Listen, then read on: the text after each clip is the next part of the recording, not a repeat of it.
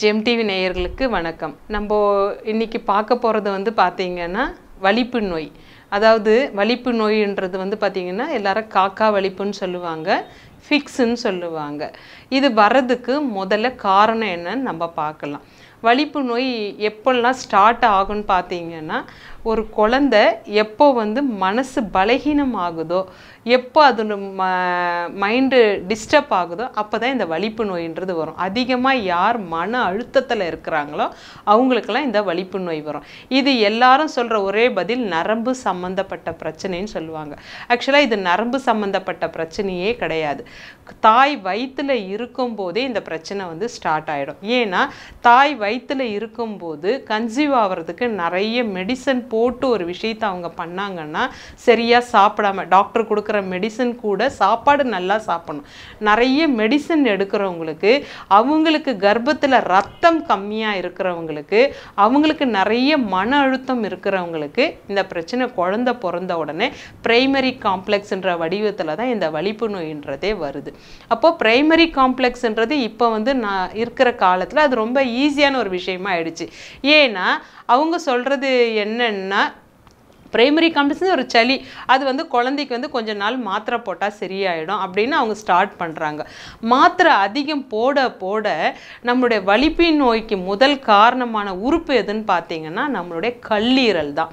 யாரெல்லாம் கல்லீரலில் ஸ்ட்ராங்காக வச்சுக்கிறாங்களோ அவங்களுக்கு வலிப்பு நோயே வராது. ஏன்னா கல்லீரல் நமக்கு ஸ்ட்ராங்காக இல்லைன்னா நம்முடைய மூளை நரம்புகள் வந்து சரியாக இருக்காது. அப்போது இதுக்கு பாதிக்கிற ரெண்டு உறுப்பில் ஒரு உறுப்பு வந்து பார்த்திங்கன்னா கல்லீரல் இன்னொரு உறுப்பு பார்த்தீங்கன்னா நம்முடைய கிட்னி ஸோ ஏன்னா மெடிசன் இந்த ப்ரைமரி காம்ப்ளெக்ஸ்க்காக எடுக்கிற மாத்திரை அந்த குழந்தை கிட்டத்தட்ட ஒரு பத்து வருஷமோ ஒரு பன்னெண்டு வருஷமோ தொடர்ந்து எடுத்துக்கிட்டே இருக்கும். இந்த மாத்திரை எடுக்க எடுக்க கிட்னியில் நிறைய அந்த பெஸ்டிசைடு அந்த டாக்ஸினு இது எல்லாமே கிட்னிலையும் பாதிக்கும் லிவர்லேயும் பாதிக்கும். ஏன்னா நம்ம உடம்புல டாக்ஸினை வாங்குறதுக்கேனே ஒரு பாவப்பட்ட உறுப்பு எதுன்னு பார்த்தீங்கன்னா கல்லீரல் தான். இது இந்த கல்லீரலை யார் அதிகமாக டாக்ஸினை கொடுத்து கஷ்டப்படுத்துகிறாங்களோ அவங்களுக்கு நரம்பு சம்மந்தப்பட்ட பிரச்சனை கண்டிப்பாக வரும். அப்போ அந்த நரம்பு சம்மந்தப்பட்ட பிரச்சனையை நம்ம சரி பண்ணிக்கணும்னா முதல்ல பிரச்சனை எதனால் வந்து நம்ம கண்டுபிடிக்கணும். அப்போ அந்த குழந்தைக்கு அந்த காம் ப்ரைமரி காம்ப்ளெக்ஸ் வருதுன்னா தாய் தந்தையர் யாரெல்லாம் சண்டை போடுறாங்களோ குழந்தைங்க முன்னாடி இன்றைக்கி நடக்கிற பிரச்சனையை ரூமுக்குள்ளே போய் போட்டுட்டு குழந்தை எதிர்க்க சிரிச்சிட்டாங்கன்னா அந்த குழந்தைக்கு வலிப்பு நோயே வராது. ஆனால் அவங்க முதல் பண்ணுற தவறு குழந்த முன்னாடி தான் சண்டை போடுவாங்க. அப்போ அந்த குழந்தை தாய் பண்ணுற அந்த இதுவெல்லாம் பார்க்கும்போது நம்ம அம்மாவை யாரோ திட்டுறாங்க. நம்ம அது ஏன்னா அம்மா கிட்ட தானே ரொம்ப அன்பாக இருக்குது. நம்ம அம்மாவை யாரோ கடுமையான வார்த்தைகள் பேசுகிறாங்கன்றத அது மனசுன்னு சொல்கிற அந்த மூளை போய் அவங்கள தேவையில்லாத அந்த குழந்தைய வந்து அழுக்கழிய வைக்கும். ஏங்கி ஏங்கி அதுக்கு சளி பிடிக்க ஆரம்பிக்கும். சளி பிடிச்ச அடுத்த நிமிஷமே அதுக்கு ஜுரம் வந்துடும் ஃபிக்ஸு வரவங்களுக்கு முதல்ல ஜுரம் வந்துடும் அப்போ ஃபீவர் வந்தாலே அந்த குழந்தை அதால் பாதிப்பு அடைஞ்சிரும். அப்போது நம்ம இதிலேருந்து நம்ம குழந்தைய நம்ம ஃபஸ்ட்டு காப்பாற்றணும் ஏன்னா நம்ம குழந்தைங்க வந்து பார்த்திங்கன்னா நம்ம இன்றைக்கி செய்கிற சின்ன சின்ன நம்மளோட தவறுகள் தான் நம்ம குழந்தைங்க வந்து பாதிக்குது. குழந்தைங்களுக்கு அப்புறம் வர்றது தான் பெரியவங்களாகி கல்யாணம் ஆகி அவங்க குழந்த பிறந்து கூட இந்த இந்த வலிப்பு நோயின்றது அவங்களுக்கு வந்து வந்துடுது ஸோ இந்த வலிப்பு நோய் வரதை நம்ம சரி பண்ணணும்னா நம்ம முதல்ல ரொம்ப எளிமையாக இந்த சித்த மருத்துவத்தில் வந்து பார்த்திங்கன்னா நம்ம ஊர்லேயே கிடைக்கிற எளிமையான ஒரு பொருள் வந்து பார்த்திங்கன்னா கீழாநெல்லி. கீழநெல்லி வந்து ஜூஸாக நம்ம எடுத்தோன்னு வச்சுக்கிங்களேன். நம்ம குழந்தைக்கும் சரி பெரியவங்களுக்கும் சரி அந்த ஃபிக்ஸுன்றதே வராது. நரம்பு சம்மந்தப்பட்ட உணவுகள் எதெல்லாம் இருக்குது? டிராகன் பழம் இருக்கிறதுலே நரம்பை வந்து ரொம்ப ஸ்ட்ராங் பண்ணும். அது நம்ம குழந்தைக்கு கொடுக்க முடியாது.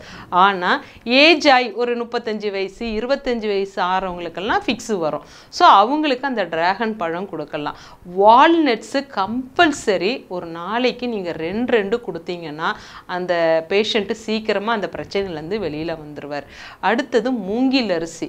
வாரத்தில் கூடுமான வரைக்கும் ஒரு வேலையாச்சு அவங்க மூங்கில் அரிசியில் உணவுகள் எடுத்துக்கிட்டே இருந்தாங்கன்னா அவங்களுக்கு வந்து ஃபிக்ஸுன்றதே வரவே வராது. அடுத்தது ஸ்பிரிச்சுவல் அவங்க உடம்பில் தெய்வீக தன்மை இருக்கணும்.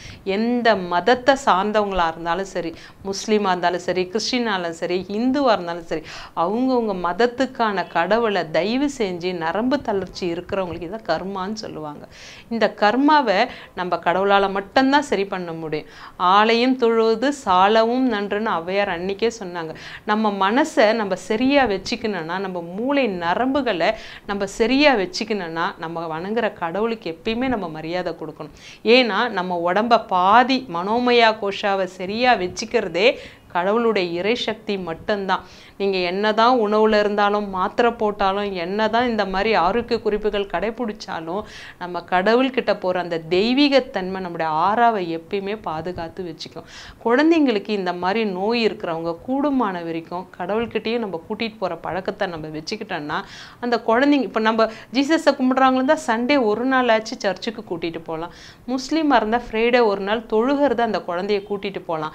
நம்ம ஹிந்துவாக இருந்தால் வெள்ளிக்கிழமை. நம்ம எல்லாருக்குமே மதத்தில் இருக்குது தயவு செஞ்சு இந்த நரம்பு பிரச்சனையினால் வர்றதுக்கு தெய்வத்தால் ஆகாதது முயற்சி தன்னை வறுத்து கூலி தரும்னு சொல்லுவாங்க. கடவுளால் மட்டும்தான் இந்த பிரச்சனை. ஏன்னா இது கிரானிக் டிசீஸ் இது வந்து அக்யூட் டிசீஸே கிடையாது.